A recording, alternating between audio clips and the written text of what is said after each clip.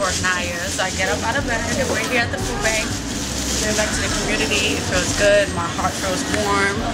And happy holidays, everyone. My name is Daryl Farias. I'm the director of food distribution of Harlem for the Food Bank for NYC. We have a lot of celebrity ambassadors that um, that affiliate with us.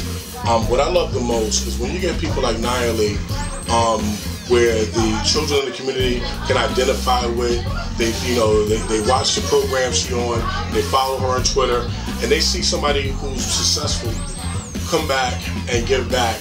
It makes it cool. It makes it cool to um to do the right thing and give back to those less less fortunate. So I completely admire, you know, her movement. Um, I just hope that um that she can come back more because a lot of people that don't know that she's here, they're gonna find out and they're gonna be like, oh my God, I missed her. So I hope that she can come back. We got Christmas around the corner. I just hope they can come back. We can probably make this um, an ongoing thing.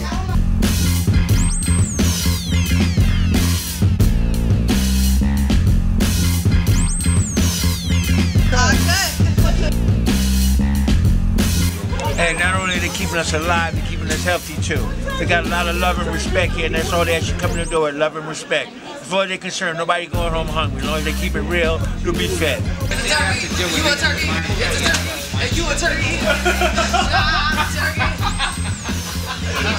What do you say when people tell you, you know, why are you partnering up with Nya Lee? What do you say Yeah. after that? My initial response to it, of course, being her friend, I wanted to be on the defense.